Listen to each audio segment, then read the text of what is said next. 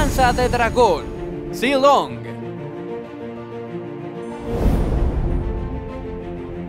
Pasiva, Ráfaga del Dragón.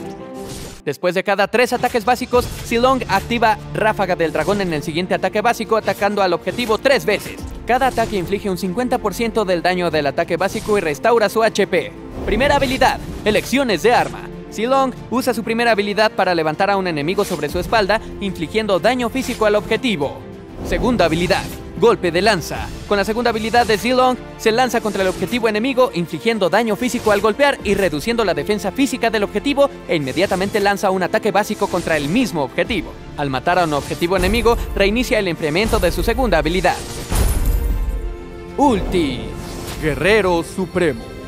La ulti de Zilong aumenta su velocidad de movimiento y de ataque y lo hace inmune a todos los efectos de ralentización, los cuales su ulti también elimina.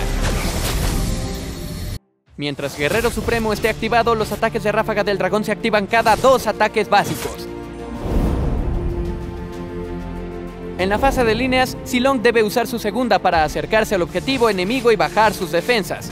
Luego, levantar al objetivo sobre su espalda y seguir con ataques básicos para desencadenar tantos ataques ráfaga del dragón como sea posible.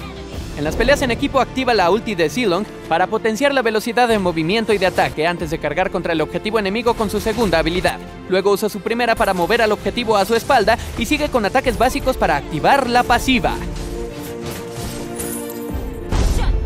Como su ulti le brinda inmunidad a la ralentización y gran velocidad de movimiento, Zilong suele jugar en solitario en el juego tardío. Desafortunadamente, héroes con fuerte CC de un solo objetivo pueden contrarrestar fácilmente a Zilong, como Franco. En el nivel 1 prioriza la mejora de su segunda habilidad, luego prioriza mejorarla. Los minions muertos reinician el enfriamiento de su segunda habilidad, por lo que les será más fácil eliminar minions. La segunda habilidad de Zilong puede restablecer el enfriamiento de su ataque básico, lo que le permite infligir más daño si se sincroniza con cuidado. Su primera puede usarse para atraer a los héroes enemigos hacia tus torres para matar fácilmente a los enemigos en las líneas. La ulti de Zilong también sirve de escape ya que lo hace inmune a todos los efectos de ralentización.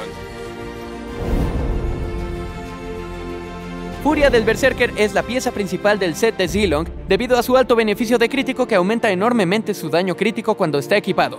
Equipa Espada de los Siete Mares en el juego temprano para aumentar el ataque y su penetración física y luego usa Rugido Maléfico en el juego tardío para aumentar su daño contra los tanques enemigos. Recomendamos el hechizo de batalla Inspirar para Zilong, ya que puede aumentar su velocidad de ataque por un tiempo, permitiéndole realizar más ataques con Ráfaga del Dragón. También recomendamos el hechizo de batalla Adviento porque libera su potencial en las líneas para crear distracciones al equipo enemigo en el juego tardío.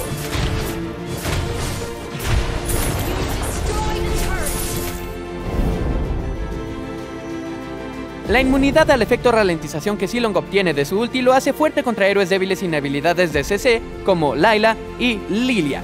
Pero Silong sigue siendo vulnerable a otras habilidades de CC, haciéndolo débil contra héroes con fuertes habilidades de CC como Franco y Nana. Zilong funciona mejor con héroes con una fuerte defensa que pueden contener los ataques enemigos mientras él está solo en la línea, como Farsa y Hanabi.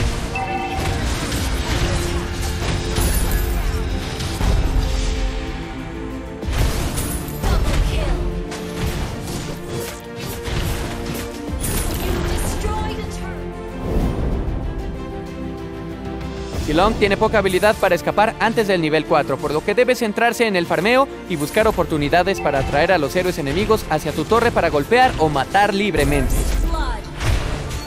En el juego tardío, Zilong puede ir solo por las líneas para presionar al enemigo y centrarse en derribar las torres enemigas o su base, en lugar de unirse a sus compañeros en las peleas en equipo.